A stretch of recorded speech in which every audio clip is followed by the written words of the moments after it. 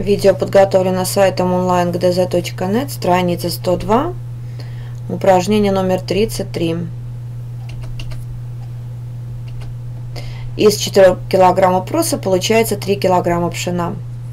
Э, сколько килограммов пшена получается из 8 центнеров проса, из 2 тонн проса. 8 центнеров выразим в килограммах. Это получается 800 килограммов. Мы узнаем, сколько раз по 4 килограмма содержится в 800 килограммах. 800 разделим на 4, 200 раз. Значит, 200 раз по 3 килограмма у нас получится. 200 умножаем на 3. У нас получается 600 килограммов проса получится из 8 центнеров пшена. Теперь мы узнаем, сколько килограммов пшена получится из 2 тонн проса. 2 тонны проса это 2000 килограмм. 2000 разделим на 4 получится 500 раз.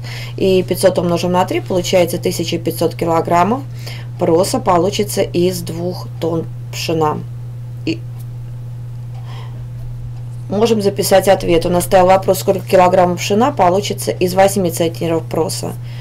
600 килограммов. И из 2 тонн проса 1500 килограммов.